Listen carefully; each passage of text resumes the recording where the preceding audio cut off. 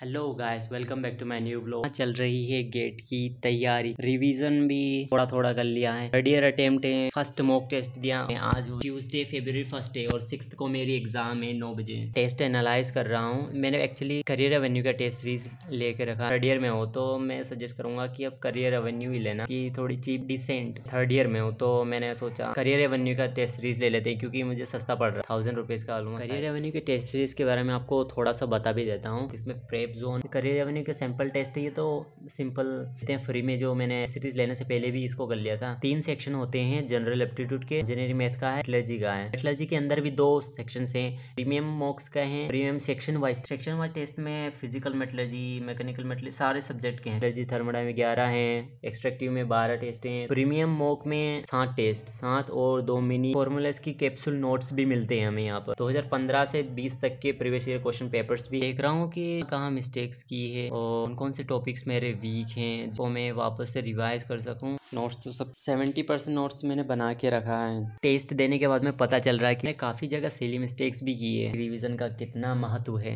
Sixty marks लाने के लिए मुझे पाँच दिनों में बहुत कुछ करना पड़ेगा। अभी नोट्स में एक जो भी क्वेश्चन होते हैं यूनिक टाइप के, वो नोट्स में भी लिखते जाता हूँ ताकि गेट दो में मुझे काम दे सके। क्वेश्चंस काफ़ी सारे बन रहे थे। फॉर्मूले और कंसेप्ट क्लियर नहीं है ना तो उसकी वजह से मैं बहुत सारे मिस्टेक्स कर रहा हूँ। तो उनको मुझे चेक करना है। पहले बेसिक बेसिक्स जितने भी हैं, वो सारे मेरे को एक बार अच्छे से पढ़ना है, ताकि सिंपल क्वेश्चंस पहले अटैम्प्ट कर सकूँ।